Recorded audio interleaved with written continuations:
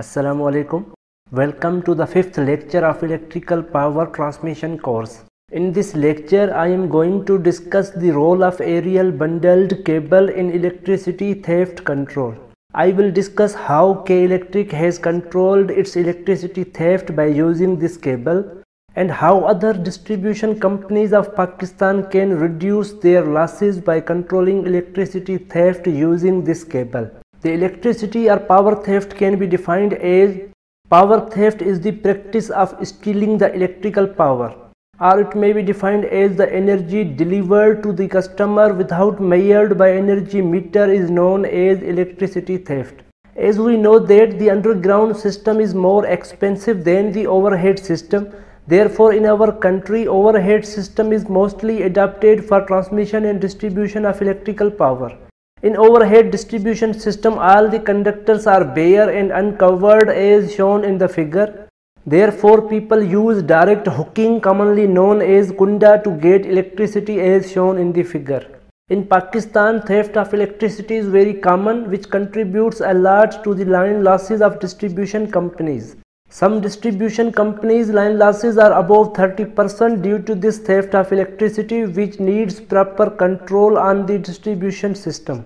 Corruption is also included in this huge loss of electricity. Electricity theft can also be done by tampering with electricity meters or transformers. Now question may arise that how electricity theft can be controlled. One of the possible solutions to control the electricity theft in Pakistan is to replace the bare conductor with aerial bundled cable.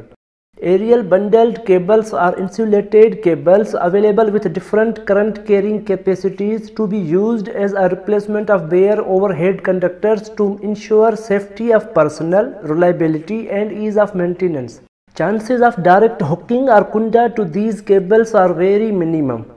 These cables though costlier than the bare conductors are far cheaper than the underground system.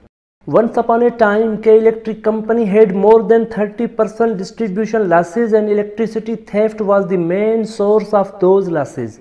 To control the electricity theft and reduce its losses, K Electric introduced aerial bundled cable first in Gulshan Iqbal area of Karachi city in 2014 which resulted in 90% theft loss reduction.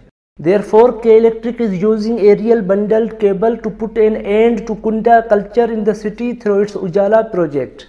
Till today, K Electric has converted over 7,500 pole-mounted transformers to ABC.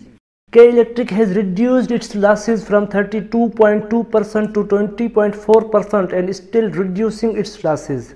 As a result of these initiatives, K Electric has successfully converted high loss areas to low loss and has enhanced its reliability of power supply. Thus, the K Electric is the role model for all distribution companies of Pakistan to reduce their losses through aerial bundled cable. That's all for today's lecture. I hope you enjoyed this lecture. If you like it, then don't forget to like my channel and subscribe it. Thank you very much.